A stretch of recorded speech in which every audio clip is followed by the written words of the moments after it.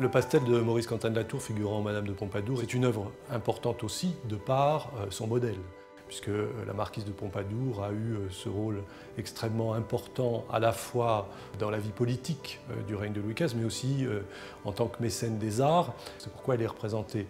dans son intérieur avec une superbe robe à la française, mais elle est environnée d'un certain nombre d'accessoires qui sont là pour souligner cette passion, ce soutien qu'elle apportait aux arts.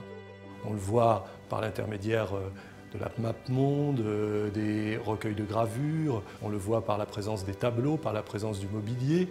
mais c'est aussi une image à caractère politique, parce que euh, c'est vrai que afficher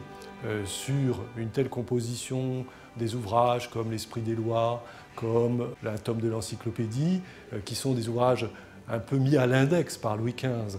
c'est aller à l'encontre finalement des décisions du souverain. Alors c'est toute cette dimension-là de femmes de culture, de femmes politiques, de femmes un petit peu rebelles que Maurice Quentin de la Tour met en valeur dans cette œuvre.